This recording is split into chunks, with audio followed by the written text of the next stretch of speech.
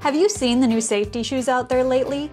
This is probably one of the most promising things I've seen in women's workwear in a while. There are lots of new brands and models out there that are deciding to jump into the safety shoe market. Hi, I'm Rachel Walla with Ally Safety, and in today's video, we're gonna look at the new world of women's safety shoes. So without further ado, let's jump right into it.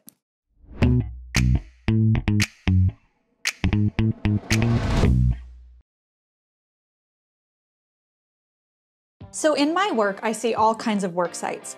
And what I'm noticing more and more is that more people are wearing safety shoes as much, if not more, than work boots.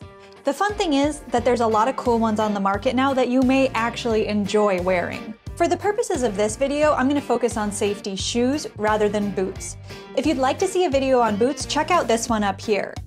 To be considered for this video, the shoes had to have a safety toe, a fun style, great reviews, and be built specifically for women.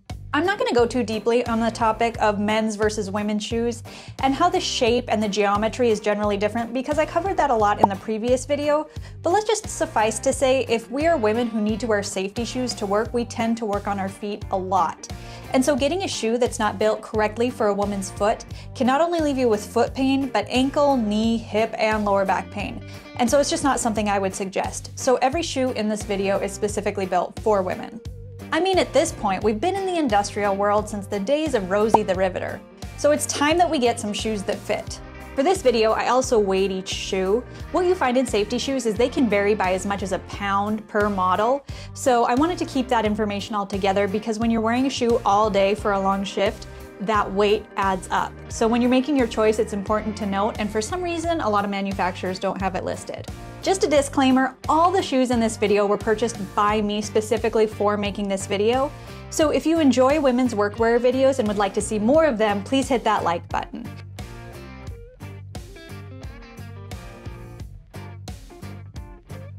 All right, so first up, we have the best I didn't know that was a safety shoe shoe.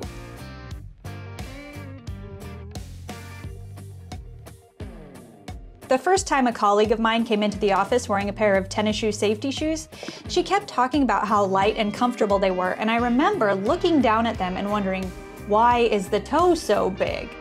The thing is, if you're wearing composite toe safety shoes, a lot of times the toe will be very big because the composite toe has to be kind of bulky to meet ASTM standards. The cool thing about these Pumas is that the toe is really small because it's a steel toe, and you would never know it's actually a safety shoe if you were just wearing it around on the streets. I was surprised when I saw these Pumas because this is one of the first fun sneakers that I would not know was a safety shoe. Also, they have great colors to choose from, making them feel less like the old drab safety shoes and more like something you would actually want to wear. Next category is the most unique safety shoe. Okay, who would see these and think that this is a safety toe? I included these ones just because they're so unique and so fun and so different. My initial thoughts when I saw these was I was wondering what type of workplace they would really fit in, like maybe an office, but I think that was a bit short-sighted because they have a surprising list of safety features and I don't see why they wouldn't be just as usable as any other shoe on the list. Also, these were the most comfortable that I tried on for this video. Just one thing to note though, these are CSA approved, which means they meet Canadian Standards Association regulations, which for some employers may be an issue if they want you to go with ASTM safety shoes. I don't think a women's safety shoe video in 2020 is really complete without mentioning Xena Workwear, because they're the newest, coolest thing in the women's safety shoe market right now. They've come out with some great products, and I like this one that's a cross between a shoe and a boot that's basically made to go from the office to the production line. Please excuse the scuff marks on these because they become my new day-to-day -day shoe and I wear them a lot. Xena Workwear also has some more boot-like models that you may have seen in some of my other videos, and a knee-high boot model coming out this fall. The really cool thing about this company is that it's owned by a woman who noticed the lack in great safety footwear and gets the struggle. One thing to note with Xenas is you do want to go up about a half a size larger than you normally would as they tend to run small. Keens are great because they offer the protection of a boot while being more like a hiking shoe. I also think they're one of the most versatile because they can go from construction jobs to hiking and even into the office and be comfortable all throughout. These ones are waterproof as well. One thing to note in my experience, Keens tend to run about half a size too big.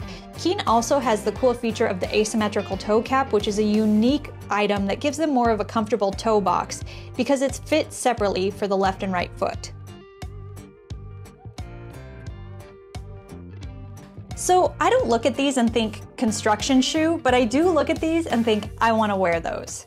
These are from Caterpillar, and they are one of the most fun styles I've seen. I don't typically go for pink and safety shoes, but I think they did a pretty good job on these. They also have a blue model as well.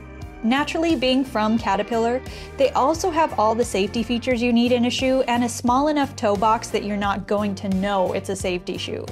Lastly, they are the least expensive shoe on the list, coming in at around $65. The next one is another model that can go easily from the office to the field and also has the added benefit of being a bit more lightweight than the others due to having an alloy toe. This one is almost like a clog. It has a lot of versatility and won't look clunky with your skinny jeans. Last but not least, we have the Reebok Work Sublite. These are great because they look just about like any other tennis shoe on the market. They aren't loud and flashy, but they are really comfortable. You will notice that they have a slightly bigger toe than some of the others, but that's because the toe is composite rather than steel, meaning it's lighter weight. There's always a trade-off, and these ones do deliver on the weight because the toe isn't noticeably bigger and yet the shoe is the lightest on this list. So that's my list of the best safety shoes for women. What ones did you like and what ones did I miss? Let me know in the comments below. Hopefully this video helps you if you have that company stipend and are looking for a new pair of safety shoes this year. Thank you so much for watching. If you enjoyed this video, please hit that like button. And if you'd like to see more videos like this, please hit that subscribe button. It helps me to create more content for you. Again, thanks for watching and I'll see you guys later.